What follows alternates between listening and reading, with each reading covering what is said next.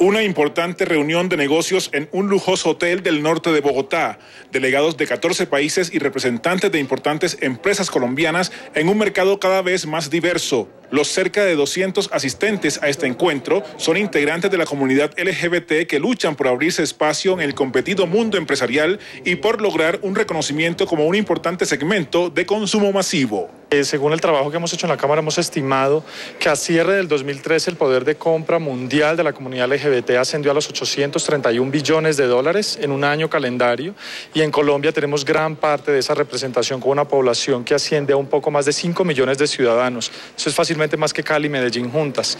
al tener casi un 10% de la población nacional como miembros de la comunidad LGBT, definitivamente es un nicho de interés para todas las empresas. La primera cumbre internacional de negocios LGBT que se realiza hasta este viernes en Colombia tiene el objetivo de acercar a empresarios y consumidores afines o no a esa comunidad.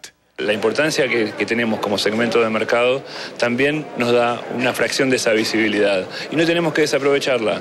Eh, hoy para el empresariado no pensar en una fracción de un 10% de la población que tiene un alto poder adquisitivo y que, y que tiene tiempo para viajar y que consume de una manera diferente, la verdad es, un buen consejo que, piensen en nosotros como tales. El apoyo de varios gobiernos a estas iniciativas de inclusión permitió que delegaciones de 14 países participaran en el evento. El poder eh, demostrar su, fuerza a través del mundo económico es importante, pero también tenemos una, responsabilidad de tomar en cuenta la diversidad de todos teniendo ah, recursos económicos o no. No es un tema solamente de Colombia, sino un tema de global. En mi propio país, Suecia, también eh, hace muchos años había, digamos, un, nivel mucho más alto de prejuicios contra esa población eh, que hoy en día, eh, digamos, no, no vemos. Una de las principales conclusiones del encuentro es que cada vez son más los líderes de importantes compañías y multinacionales que manejan millonarios capitales de inversión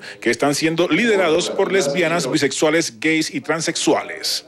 Y además, como en el caso de Bogotá, en donde existe una política pública gubernamental de apoyo a la población LGBT, muchos ocupan cargos públicos de importancia.